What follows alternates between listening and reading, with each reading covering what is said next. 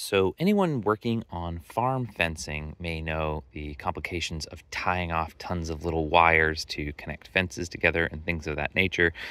And when I moved to this property, there was a lack of mesh fencing on this front half. There was a lack of a divider.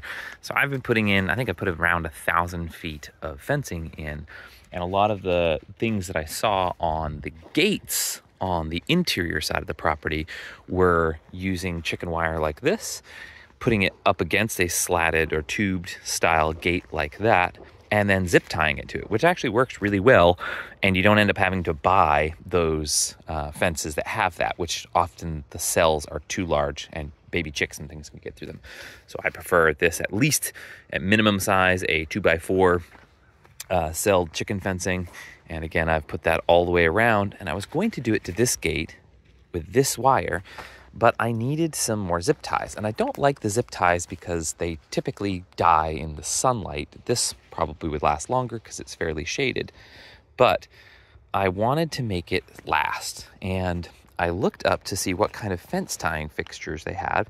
And to my surprise, there's this really cool product that is um, basically a zip tie. It doesn't quite work exactly the same. It doesn't have the notches on the metal band.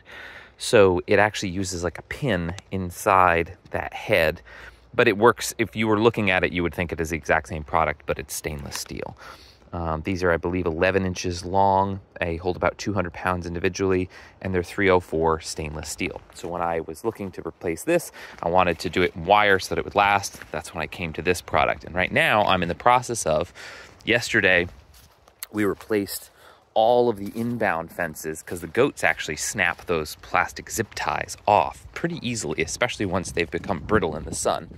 I have to bear with the wind because once I'm up here, as I rise in elevation, there's a little bit of wind. Look at this too while we're out here.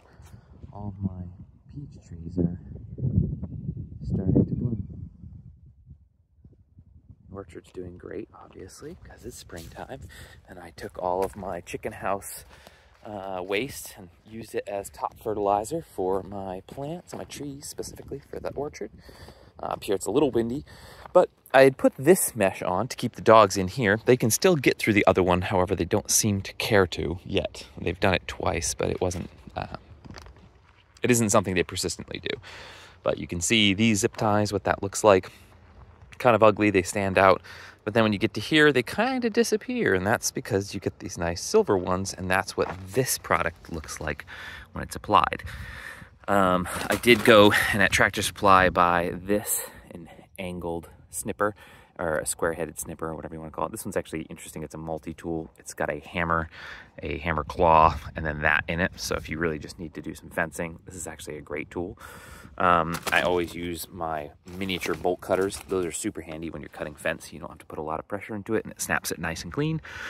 Um, and then you don't bend any of the fencing because that's another thing you want to make sure you're keeping straight. But as you can see, that's it snipped off, nice and flush. This is one with the tail end still onto it.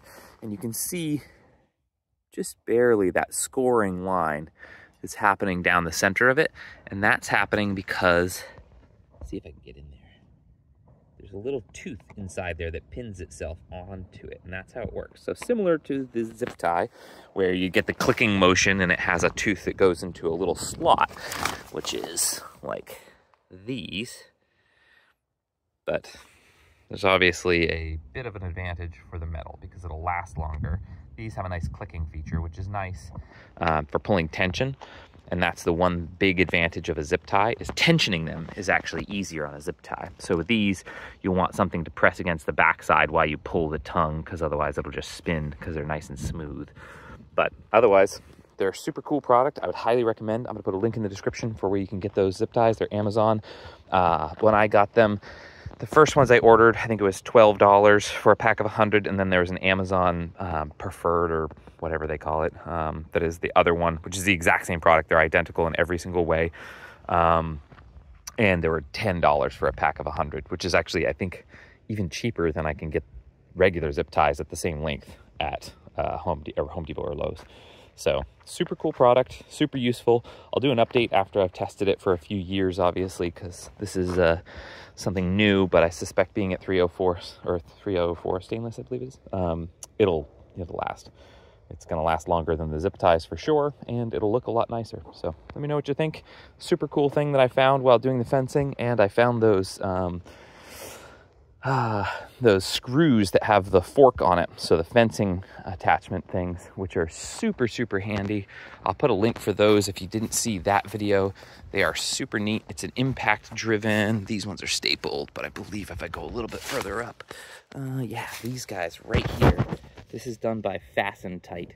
It's an impact-driven uh, little staple with a screw in it, and they're self-tapping, so you can put fencing up super fast, super handy if you're taking on a farm project or revitalizing your existing farm project. But some little handy tools make a huge difference, and super nice fasteners will last a lot longer and make your job a lot easier. Those are also super easy to remove, which is really awesome. These, once you use them, that's it. They're just a one-time use. But let me know what you think.